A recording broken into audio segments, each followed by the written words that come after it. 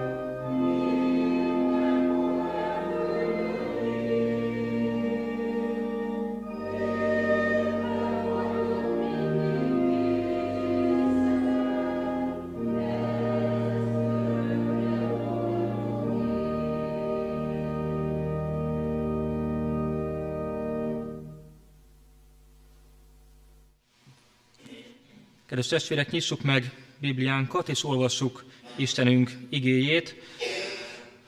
Mai vasárnapon a Kolossébelekhez írott levél harmadik rész, 12. versétől kezdődően a 14. versig fogjuk Isten igéjét olvasni, Isten tiszteletünk alapigéjeként, fennállva hallgassuk meg ezeket az igéket.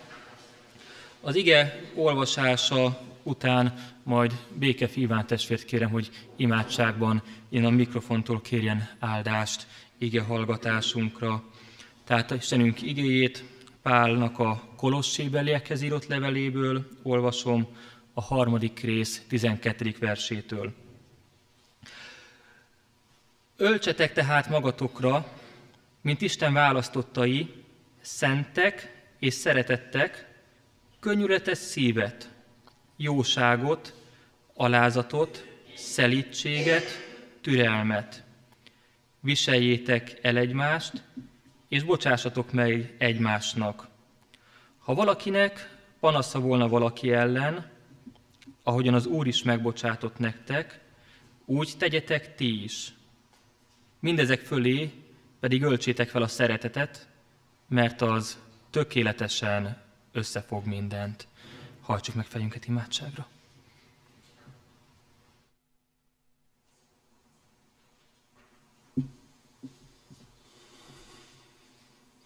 Menjen jó atyám, hálatelt szívvel jövünk eléd.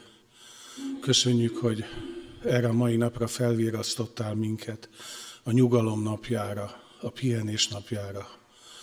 Köszönjük, hogy engedted, hogy eljöjjünk a te házadba, örvendezzünk egymásnak, és örvendezzünk a te ígédnek, a te tanításodnak. Kérlek, add áldásunk, áldásodat erre a mai napunkra. Áld meg a ige szólóját, hogy amit akarsz üzenni nekünk, azt át tudja adni. Kérlek, maradj velünk ezen a mai napon. A Te fiad az Úr Jézus nevével kérünk. Amen. Foglaljunk helyet, testvérek, és énekeljünk közösen. Igéje szól, igéje hív, szívünkben kétséget csöndesít. Kezdődik a 175. számú énekünk. 175. énekünket énekeljük most el.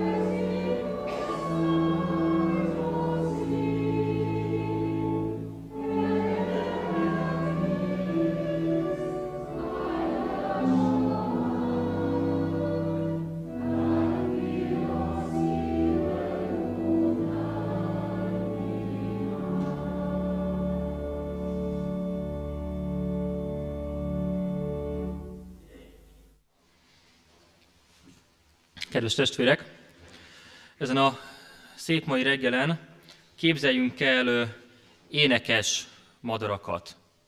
Mindannyian láttunk már, talán szeretjük is őket a hangjukat.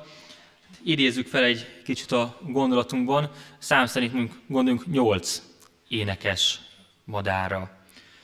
Húsvét óta, most már harmadik hete a Kolossévelérhez írott levél harmadik részéből olvasunk igéket, olyan témakörben elmélkedve Isten tanításán, hogy a feltámadás következményei, és a mai témánk a feltámadás következményei között az élet cselekedetei. Az élet alapvetően egy cselekvő cselekednie kell az életnek, az életben cselekedni kell. Ha létezünk, akkor, akkor tennünk kell dolgokat. Az életet alapvetően határozza meg az, hogy cselekszünk, hogy létezünk és teszünk dolgokat. Ha elmúlnak a, a cselekedetek az életünkből, akkor még lehet mondani, hogy az ember él biológiailag, jogilag, más szempontból. Érezzük, hogy az az élet az nem teljes. Ahol a cselekvő képességünk sérül, azt nem tartjuk teljes életnek, ha csak rövid ideig betegség miatt, ami mondjuk gipszelt betegség, és ágyhoz kötöttek vagyunk. Érezzük azt, hogy mennyire kevesebb azért, hogy nem tudunk bizonyos dolgokat tenni és, és megcselekedni. Hívő embernek az élet alapja az, hogy van feltámadás. Hívő létezésünknek az alapja az, hogy van feltámadás, hogy a halál után van élet. És hogy a halál után van élet, és a földi életből az a tapasztalásunk, hogy akkor teljes az életünk, ha tudunk cselekedni, ha megvan hozzá az erőnk, a lehetőségeink, és a, a, a, a jogunk, akkor érzük teljesnek az, az életünket. Ez nagyon hasonlatos a, a hívő élethez is. Hogy akkor érezhetjük teljesnek a hívő életünket, ha tudunk benne cselekedni. Ha a hívő életből elmaradnak a cselekedetek, lehet, hogy közel sem ö, annyira fájó első benyomásra, mint amikor a földi életünkből van elvéve a cselekvésnek a lehetősége, de ugyanolyan, ha nem súlyosabb probléma, hogyha onnan maradnak el a, a cselekedeteink. A hívő életnek épp úgy létszüksége a teljességének, hogy tudjunk cselekedni, mint a földi életünknek. Az életünk, hívő életünk alapja az, hogy, hogy van feltámadás, hogy alután lesz élet, hogy abban az életben kell cselekedni, sőt, hívületünknek itt a alapja nem csak az, hogy a halálunkat követően lesz életünk, hanem hogy már a halálunkat megelőzőleg van életünk. Gondoljunk vissza, hogy Márta, Lázár és Márianka testvére milyen szépen tesz erről bizonyságot. János evangéliumából olvasok néhány igeverset, a 11. rész 21. versétől. Márta ekkor így szólt Jézushoz. Uram, ha itt lettél volna, nem halt volna meg a testvérem. De most is tudom, hogy amit csak kérsz az Istentől, megadja neked az Isten. Jézus ezt mondta neki, feltámad a testvéred. Márta így válaszolt, tudom, hogy feltámad a feltámadáskor, az utolsó napon. Jézus ekkor ezt mondta neki, én vagyok a feltámadás és az élet. Aki hisz én bennem, ha meghal is él, és aki él és hisz én bennem, az nem hal meg soha. Hiszed-e ezt? Márta így felelt, igen, Uram, én hiszem, hogy Te vagy a Krisztus, az Isten fia, akinek el kell jönnie a világba. Mártának és Jézusnak e rövid beszélgetése is rámutat bennünket arra, ami tudunk jól hívő életünkből, ugye, hogy a feltámadásnak a következménye, Krisztus feltámadásának a következménye az, hogy nekünk már itt a Földön örök életünk van. Jézus azt mondja, hogy aki hiszél bennem, nem hal meg soha. Élete van. És éppen ezért, ha azt mondjuk, hogy a feltámadás következménye az életnek a cselekedetei, a hívő életnek a cselekedetei, akkor nem gondolhatjuk csupán azt, hogy majd a mi feltámadásunk után lesznek hívő élet cselekedetei. És azt mondja, hogy itt a Földön örök élet van a benne hívőnek, itt a Földön kell azokat a hívő életnek a cselekedeteit megcselekednie, azokat a gyümölcsöket megteremnie, amit a Mesterünk és Urunk elvár tőlünk. Földi életünkben, ugye szembe kell nézni vagy a földi halállal, vagy az elragadtatással, de már Krisztus feltámadása révén, ugye itt ebben az elmúló, még nem örök, nagyon is véges földi élet időszakunkban, ebben a földi élet időszakunkban is kell, hogy cselekedjük a hívő életnek a cselekedeteit, és már ebben a földi élet időszakunkban kell, hogy az élet cselekedeteink azok megváltozzanak, hogy az bizonyos cselekedeteket, amiről írt az apostol, elhagyjunk, és bizonyos cselekedeteket, amiket most olvastunk az igében, azokat felépítsük és elkezdjük tenni az életünkben. Ugye Pál apostol most a felolvasott igénkben Krisztusba és az ő feltámadásra vetett hit által, hitünk által nyolc következményt, cselekvést ír le, mint a, a hívő ember életnek a cselekedét, mint annak az, az erényeit. Ez a nyolc, ez nem az összes. Egy nyolc tagból álló felsorolás, amit ajánl nekünk ma az apostol, hogy vizsgáljuk meg az életünkben. Ugye ilyen erényeket, cselekedeteket ír az apostol. Mondja, hogy könnyűletes szív, a könnyűletet gyakorolni képes életvitel, a jóság cselekvése, az alázatnak a megélése, a szelítség tulajdonsága, a türelemnek a gyakorlása, az egymás elviselése, a megbocsátás és a szeretet. Úgy fogalmaztuk meg ezeket, hogy az életnek a cselekedetei. Némelyiket talán nem gondolnánk rögtön azt, hogy, hogy cselekvés. Elmondanánk nagyon könnyen talán az alázatra, hogy az tulajdonság. Hát hol kell cselekedni az, az alázatot? Valaki vagy alázatos, vagy nem alázatos. Fog, fog, nézzük most úgy ezeket a tulajdonságokat, amiket cselekvésként fogalmazunk meg.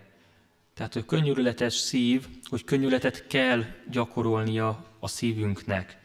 Az, hogy jóság, az nem csak egy elvont fogalom, hanem cselekedet az életünkben. Olyan ö, megfogható cselekvés, mint az, hogy megyünk, jövünk, főzünk, amit megélhető cselekvésnek tekintünk.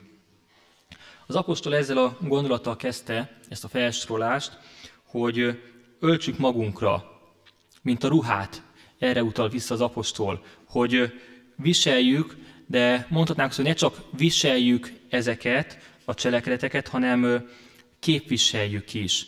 Mert ezeknek az erényeknek a, a viselete, a megélése az, az nem lehet csupán képmutatás a hívő embernek az életébe.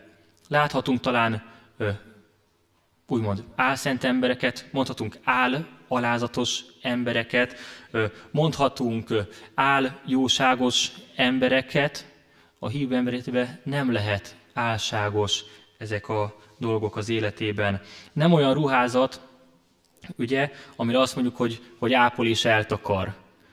Milyen jó. Meg nem olyan ruházat, ami nagyon szép, de hát egy kicsit szorít, de hát amikor kibújunk belőle, akkor már ö, semmi gond, ö, hanem csak olyan lehet, amit ö, viselünk és, és képviselünk is ö, életünkben és cselekedeteinkben amiből hazaérve nem akarunk megszabadulni.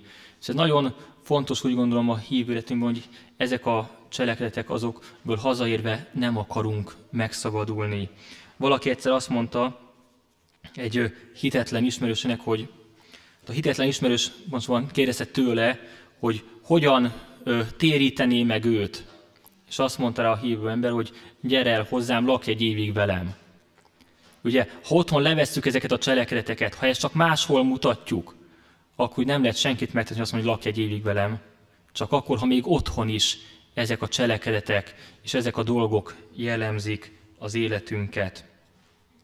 Mondhatjuk, hogy az, ezek az erények, és aztán mindenkor igaz, hogy ezek az erények, azok nem elvi ö, dolgok. Tehát az ember nagyon szeret elvi dolgokról gondol. A hívélet erényei, ez a nyolc, és soroltunk mellé másokat is, azok soha nem elvi dolgok, hanem nagyon is gyakorlati dolgok, amiket az életünkbe csak beépítve, megélve, cselekedve válnak valósággá az életünkben. Enélkül, ugye a cselekedetek nélkül mondhatjuk, hogy halott a hívő életünk. Ezért is fontos, amit mond az apostol, ugye, felszólítás, hogy öltsétek magatokra. Tehát nem választási lehetőség a, a hívő számára. Nem ajánlattétel az apostoltól, hanem felszólítás az apostol az apostoltól ez számunkra. Hogyan jutunk el ide? Az apostol azt mondja, hogy öltsük fel, mint, mint új ruhát. Vegyük magunkra. Ugye, ha új ruhát szeretnénk, akkor, akkor elmegyünk a, a boltba és veszünk. Mi sem egyszerűbb ez számunkra, hogy elmegyünk és veszünk. De ezt a ruhát, ezeknek az árát mi nem tudnánk kifizetni. Ugye ezért a feltámadás, Krisztus keresztrának és feltámadásának következménye az, hogy mi felölthetjük magunkra a jóságot, a szelítséget, a könnyörületességet, mert mi magunktól nem tudnánk ezeket megtenni és megélni, csak az ő bűn, bocsánatot szerző kereszthalála és feltámadása által. Mit mond az apostol? Ugye azt mondja, hogy öltsük fel magunkra azt mondja, mint Isten választottai, szentek és szeretettek. Isten ennek tart bennünket. Azt mondja, hogy Istenek a választottai, szentek és szeretettek. Írja ezt az apostol egy olyan gyülekezetnek, ugye Kolosséba, Görögországba, pogány gyülekezetbe, ami abban az időben talán csak a, a, az idóság privilégiumnak számított. Isten választottai? Hát a ö, ókori zsidó felfogás szerint csak ők. Szentek? Hát izraelitai és pogány. Csak ők. Szeretettek? Csak ők. Az apostol azt mondja, hogy a feltámadás következménye, Krisztus keresztnek és feltámadása következménye az, hogy minden ember belefér abba a kategóriába, hogy Isten választja, már választja őt, választ mindannyiunkat, abban a szempontból, hogy életet akar nekünk adni, hívő életet, megváltott életet akar nekünk adni, választ bennünket arra, hogy szentek legyünk, neki elkülönítettek, választ bennünket arra, hogy szeressen bennünket. És hogyha mi számunkra a szeretet, mint a hívő ember életének ö, erénye, annak cselekvő szeretetnek kell lennie, akkor mennyivel inkább ez így van Istennél, hogy az ő szeretete az nem csupán érzelmi dolog, hanem cselekvő szeretet. Kedves testvérek, mit jelentenek számunkra ezek az erények, amiket sorol itt fel az apostol? Könyörület, jóság, alázat, megbocsátás. Egy-egy bibliai igeverse vagy példával próbáljuk ezeket megerősíteni magunkban. Ugye azt mondja az apostol először, hogy öltsük fel magunkra a könyörületes szívet. Mi az, hogy könyörületesség? Talán olyan sokszor átfutunk rajta a hétköznapi életünkben. Jézus ugye saját maga könyörületességéről így szól, hogy azt mondja, hogy a megrepett nátszálat nem töröm el, a pislogó mécsest nem oltom ki.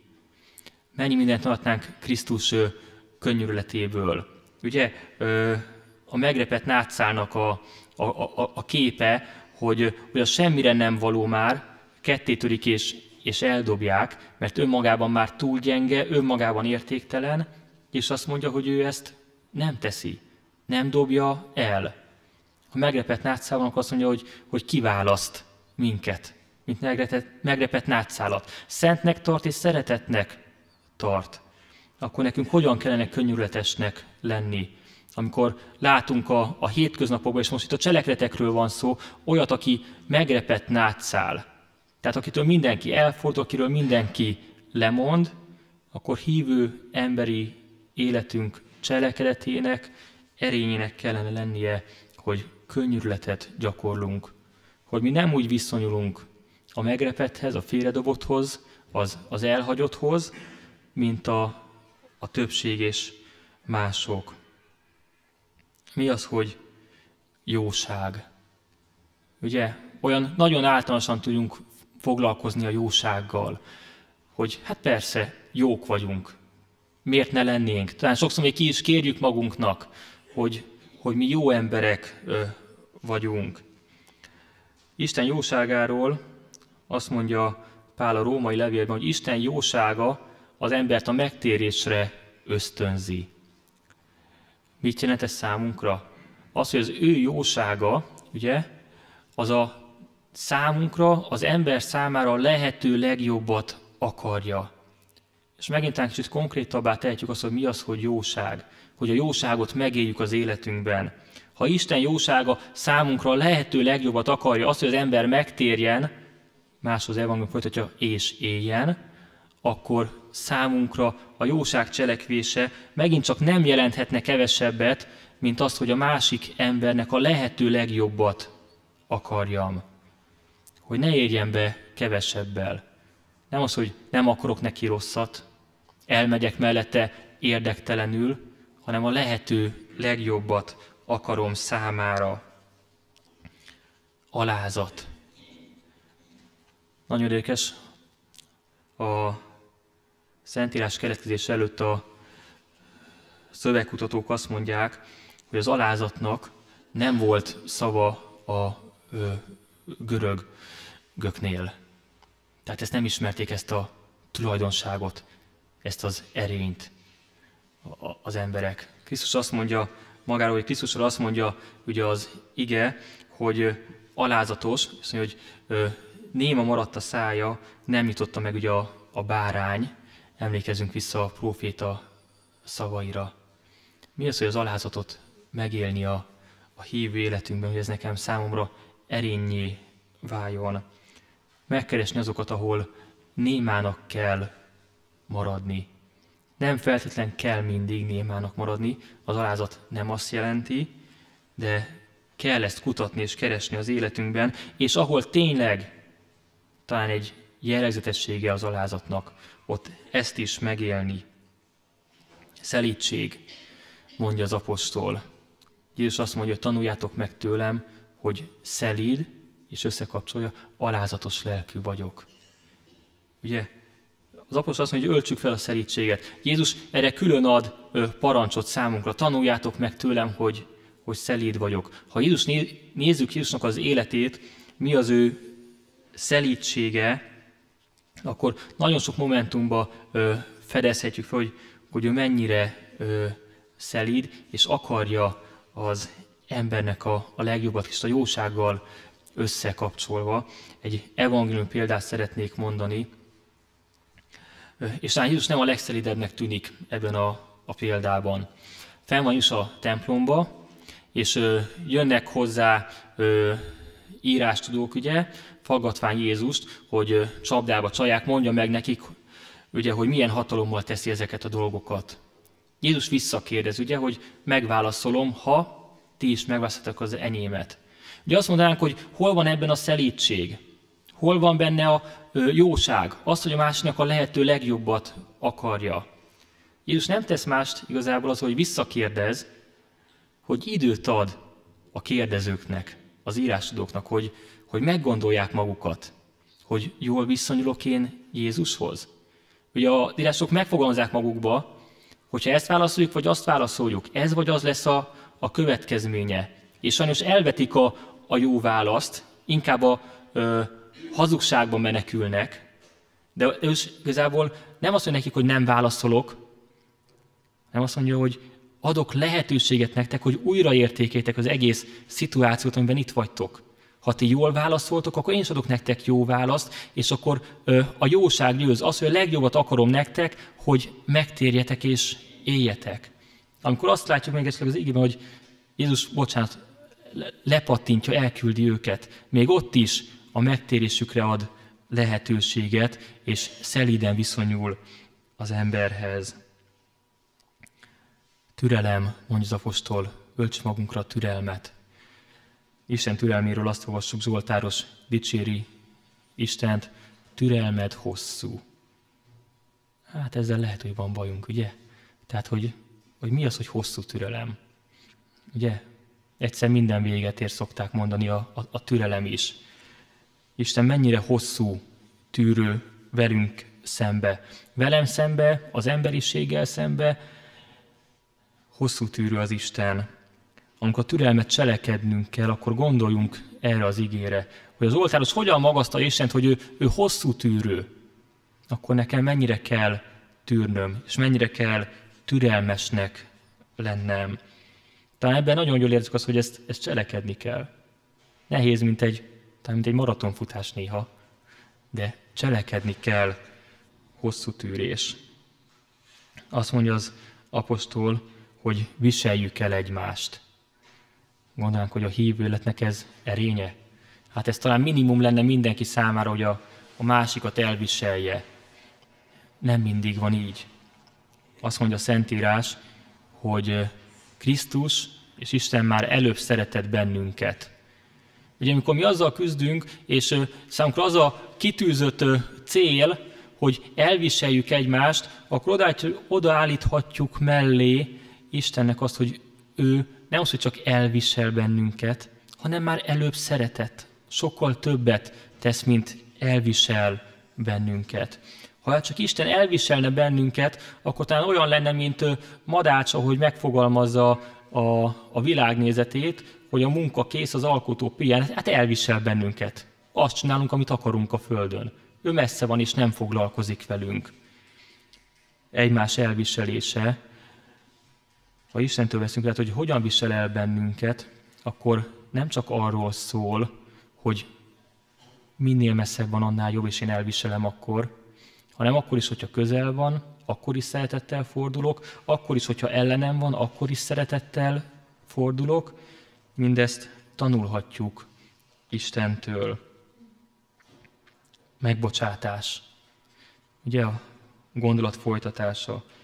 Krisztus már, vagy Krisztusban Isten minden bűnünket megbocsátotta. Milyen jó lenne, hogyha erre a mindenre tudnánk mi is törekedni, cselekedni a megbocsátást. Hogy nem szelektálni, nem tartogatni a, a haragot, a, a bántást, hanem mindent megbocsájtani, mert nekünk is megbocsátatott. Emlékezünk vissza az Úri imádságról, hogy hogyan tanít benne Isten imád, vagy Jézus imádkozni bennünket.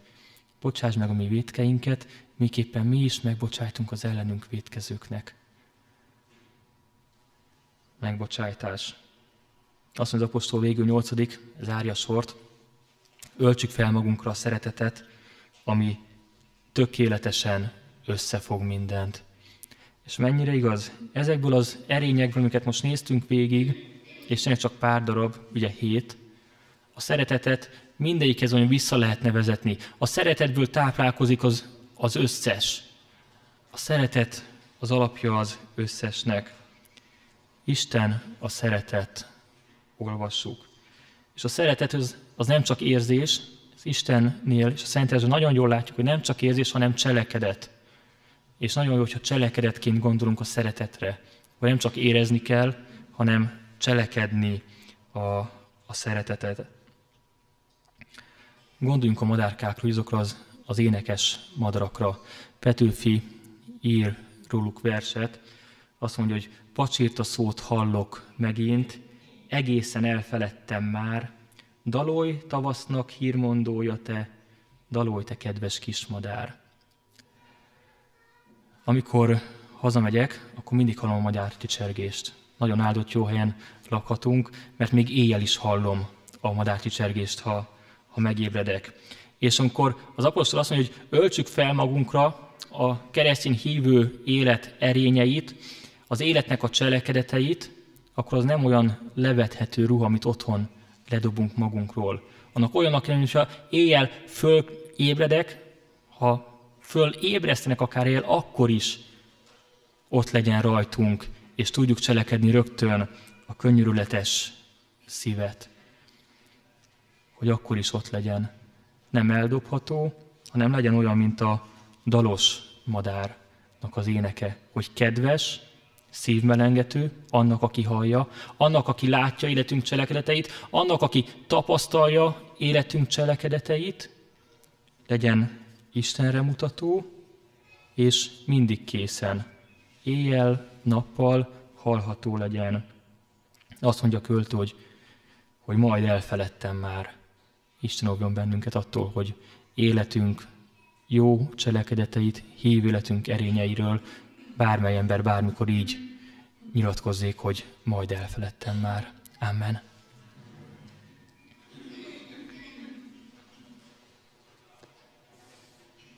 Énekeljünk közösen testvérek egy éneket. 326. számú énekünk így kezdődik. Ó, hála, Úr Jézus, hogy tiéd vagyok. 326. énekünket énekeljük most el.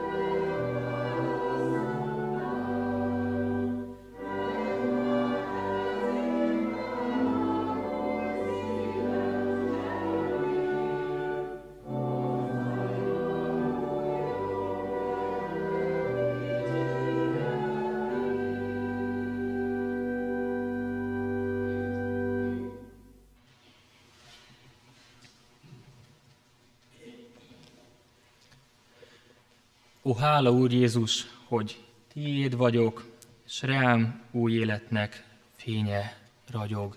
Ugye énekeltük az imént. Milyen jó így Isten elé jönni, hogy ó, hála Úr Jézus. Az új életnek fénye ragyog, és az új életnek a feltanulás következményeként van lehetőségünk az is, hogy az új életnek a cselekedeteit éljük és cselekedjük meg. Hajtsuk meg imádságra fejünket, csendesen imádkozzunk, és adjunk ezért hálát, kérjük ebben Istenek segítségét életünkre, majd imaközösségünket hangos imádsággal zárom.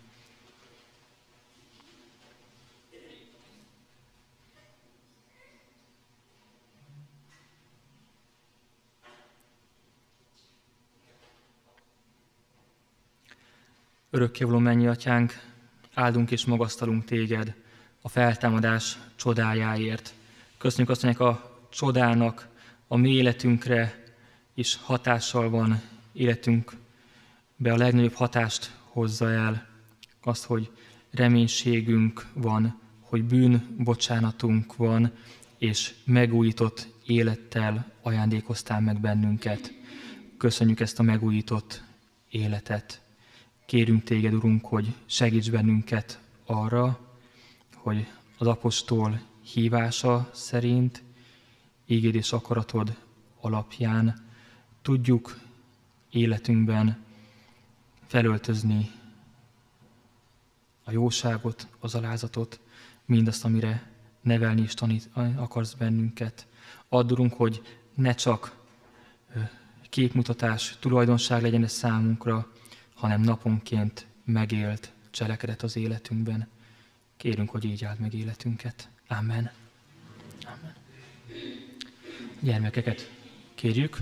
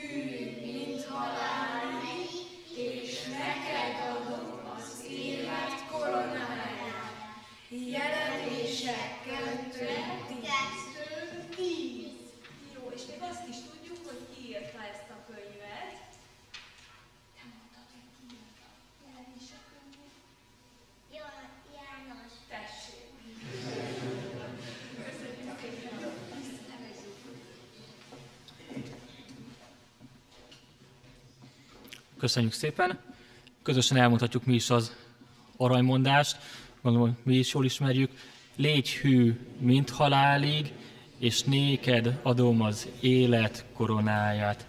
Jelenések könyve 2.10. Kedves testvérek, Isten tisztelünk végéhez érkezve szeretettel köszöntöm a gyülekezetet.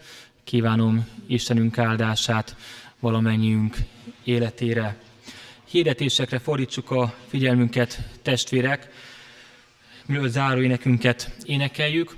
Ma délután nem tartunk Isten tiszteletet, ne feledkezzünk el ö, imádságba, kísérjük azokat a testvéreinket, akik ö, Aradon vannak, ö, most még szolgálnak, a hazaúton őrize és vezesse őket ö, jó atyánk. Somogy énetessünknek temetésére holnapi nap kerül sor Pécelen kettő órától a baptista temetőben. Kérjük a gyülekezetet, hogy legyünk ott a temetésen. Kívánjuk ezúton is a családnak Istenünk vigasztalását. Ide még a temetésekhez visszatérve, pénteken volt temetése Váradi Endre testvérnek, a jelenlévő családoknak szintén Istenünk vigasztalását kívánjuk ifja Váradi Endre testvér kérte, hogy tolmácsoljam a gyülekezetnek köszönetét, és édesanyjának, egészségnek a köszönetét, hogy az elmúlt hat hétben, mikor Váradi testvérünk betegségben volt, akkor imádságban hordoztuk, velük voltunk, és a temetésen is sokan részt vettek a gyülekezetből. Hálásan köszönik ezt a testvéreink előttünk lévő alkalmakra akkor visszatérve. Kedden ima közösségi alkalmunk lesz, csütörtökön 3 órától a Szépkorúak klubja, 6 órától pedig Biblia tanulmányi alkalmunk lesz. Pénteken 5 órától Tini klub lesz, az ifjúsági biblióra hosszú hétvégre tekintettel a fiatalok el fogják hagyni most. Jövő vasárnap pedig újból itt lehetünk együtt Isten tiszteleti alkalmon. 9 órától ima közösségünk lesz, fél tisztel a vasárnapi iskolai gyermekfoglalkozás kezdődik. 10 órától az Isten tiszteleti alkalmunk itt a nagyteremben, idősebb László Gábor testvérünk fog prédikálni. Délután 5 órától pedig közösségi délutánunk és zsíros kenyér parti alkalmunk lesz. A megkezdett gyülekezeti bibliolvasó program lesz a témája a közösségi délutánknak. Ez nem zárja ki az, hogy csak akik részt vesznek a bibliolvasó programban, azok jöjjenek el, hívunk mindenkit. A bibliolvasásról bizonyságtételek lesznek, közös éneklés, együtt gondolkodás, tehát hívunk erre az alkalomra szintén mindenkit. Április 25-én nyugdíjas kirándulásra mennek a nyugdíjas testvéreink. Fél kilenckor van az indulás innen az imaháztól. Kívánunk a testvéreinknek jó utazást, jó időt és áldott emlékeket ebből az alkalomból. Ne feledkezzünk meg testvérek az egy százalékról rendelkezésről, még néhány hétig van rá lehetőség az adóhatóságnál ezt megtegyük. Kinn a pulton, akár az egyházunk számára, akár az alapítványunk számára, mindkettőre bevallási, bejelentési papírlapok megtalálhatóak. Akik még nem tette meg, az javasoljuk, vigye el, és tegye meg ezt is támogatva ezzel is egyházunkat és alapítványunkat. Befejező énekünket énekeljük el. Testvérek, énekeskönyvünk 491-es számú énekével zárjuk Isten tiszteletünket.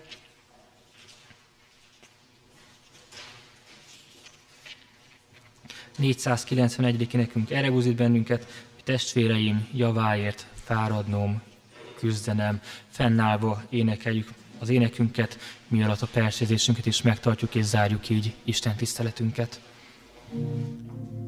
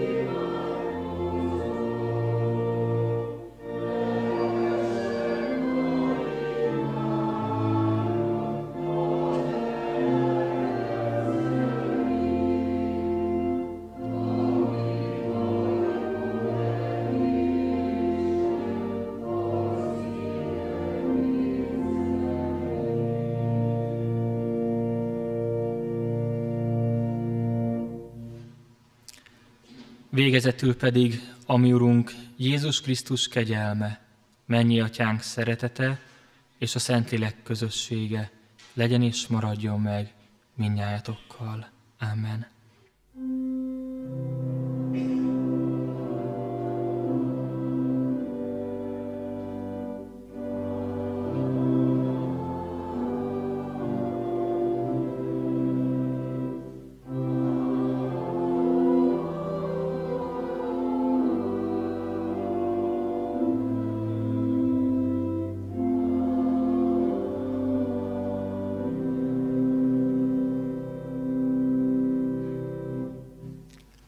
Az Úr közel, jövel, Uram Jézus. Foglaljon helyet a gyülekezet.